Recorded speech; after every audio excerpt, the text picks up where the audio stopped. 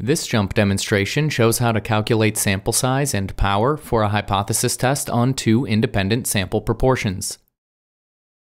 JMP has a collection of interactive sample size calculators called Sample Size Explorers under the DOE menu.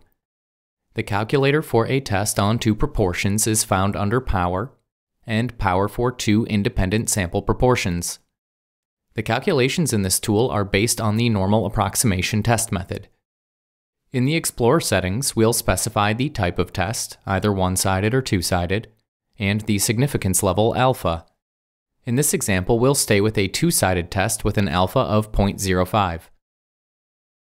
In the Profiler section, we have a group of interactive graphs that show the relationship between power on the y-axis and either group 1 or group 2 sample size, and group 1 or group 2 proportion on the x-axis we can use the sliders or manual text entry to specify values for these test parameters.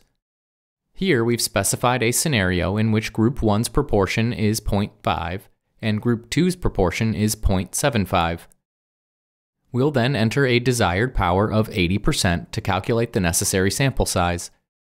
We see that a total sample size of 110 will yield a power of 80.04%, with the sample size split evenly across the two groups.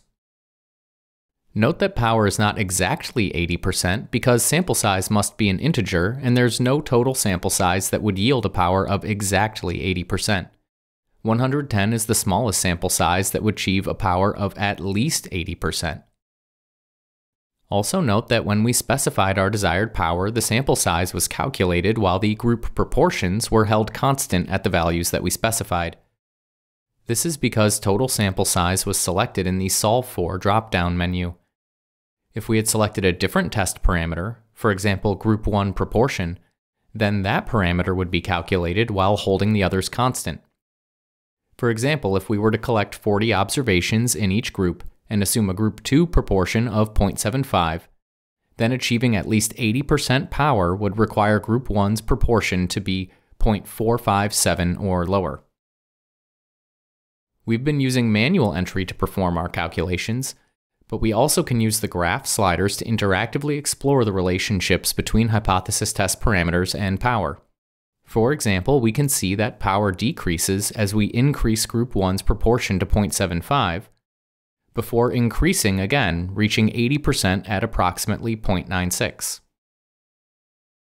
We also have the option to lock in the total sample size and explore trade offs between weighting that sample size more heavily towards one of the two groups. Finally, as we explore different scenarios, we can save our results for later reference to help us choose the sample size that we'll ultimately use. Clicking the Save Settings button saves the current values to a table at the bottom of the window, with radio buttons to return to those settings at any time. Under the red triangle, we have options to simulate data according to the parameter values that we've specified, as well as to create a data collection table for the sample size that we've chosen.